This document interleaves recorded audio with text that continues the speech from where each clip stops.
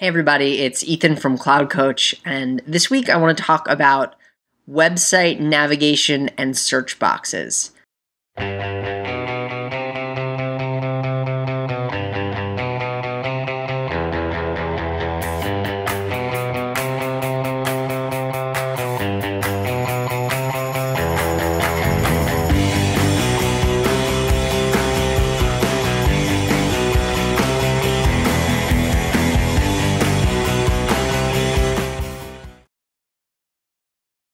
So there's a really great post on Derek Halpern's blog, Social Triggers, where he talks about why you should probably remove the search box from your website.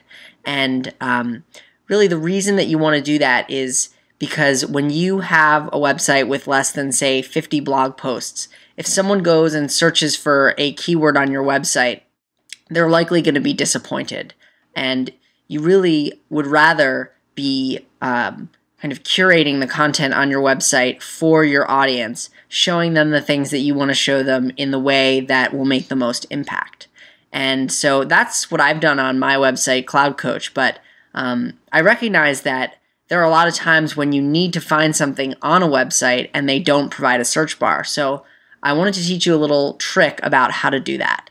And so for my example, um, we're going to go to um, a tiny house company called Tumbleweed Houses. So their website's tumbleweedhouses.com. Uh, they sell plans and um, other cool tiny house related things. And um, I'm going to be building um, a similar house um, this summer. So that's why I've been at this website a lot. And, you know, their blog is really helpful. It's got a lot of great how to articles, but um, you know, I found that it was difficult to, to find things that I needed. So here's the trick that you need to know. So go ahead and copy the website address and go back to Google. And you're going to type that website address into Google. But before you hit enter, before the website address, type site colon. So you're telling Google that you only want to do a search on the URL that you put in. Now you hit a space and you can type in the keyword that you want to search for. So I'm going to search for the term trailer because I'm going to be building my tiny house on a trailer.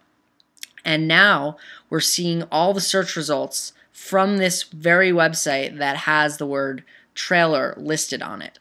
Um, in addition, we can we can search for images. So these are images on the Tumbleweed website that um, have uh, maybe trailer in the meta tag or something.